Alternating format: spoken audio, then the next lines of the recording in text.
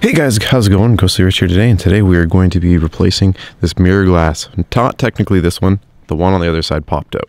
So I want to quickly show you what you need to do if this ever happens to you, or maybe yours is all smashed up in here and you need to change it. You're probably wondering, how the heck do you get it out? Well, if you have auto mirrors, let's say we're doing this side, put it to there, and then use the joystick and move it over. The reason why we're doing this is the mirror is going to open up and you're going to have room to get your fingers in behind it. And then you're going to throw on a pair of gloves and we're going to reach in right here.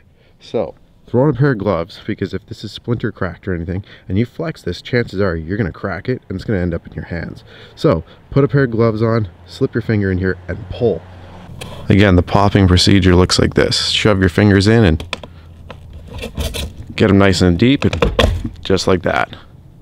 Again, don't compress with your finger if yours is still good. And there's your tabs, your retention tabs make sure you pop those out and switch them over to the new one. We're gonna level that back out because it's better to do an even squeeze to get it back on.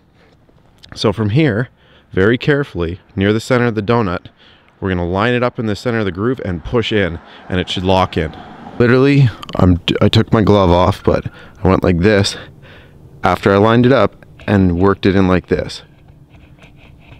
And you can see it's nicely in there. All you would do is put it back on here, move it around. Make sure it's moving, and that's it.